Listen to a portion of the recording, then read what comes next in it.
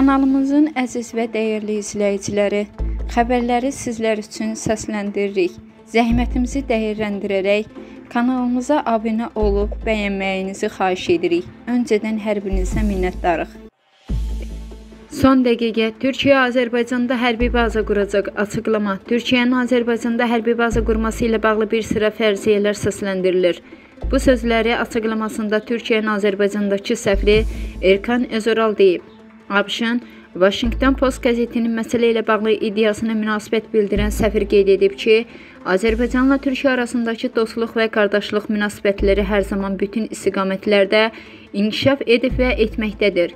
Türkiyə və Azərbaycan bir-birinə hər mövzuda yardım edib və edəcək. Bu gün Nuri Paşa ordusunun Bakının işğaldan azad edilməsinin 102-ci il dönümünü qeyd edirik. Məhz bu hadisədə qardaşlığın tarixi sübutlarından biridir. Məncə, bu gün Zəfər bayramımızı qeyd etməli və bu cür fərziyyələri bir kənara qoymalıyıq. Sentyabrın 15-də Azərbaycan Respublikası Prezidenti İlham Əliyev Türkiyə Respublikasının Prezidenti Rəcəb Tayyib Ərdoğana telefonla zəng edərək 15 sentyabr Bakının işğaldan azad olunmasının 102-ci il dönümü münasibətilə təbriklərini çatdırıb. Bu barədə Prezidentin mətbuat xidməti məlumat yayıb.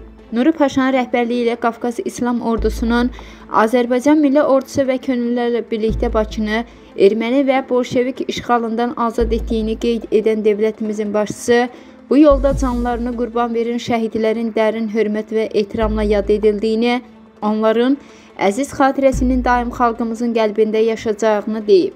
Prezident İlham Əliyev bu əlamətdar hadisə ilə əlaqədar Prezident Rəcəb Tayyib Ərdoğana təbrik məktubu ünvanladığını diqqətə çatdırıb. Dövlətimizin başçısı qeyd edib ki, əcdadlarımızın əziz xatirəsinə göstərilən sadiqliyin nümunəsi olaraq 15 sentyabr tarixi bir bayram kimi bu gündə qeyd olunur. Bununla əlaqədar Bakıda və Azərbaycanın müxtəlif bölgələrində tədbirlər keçirilir.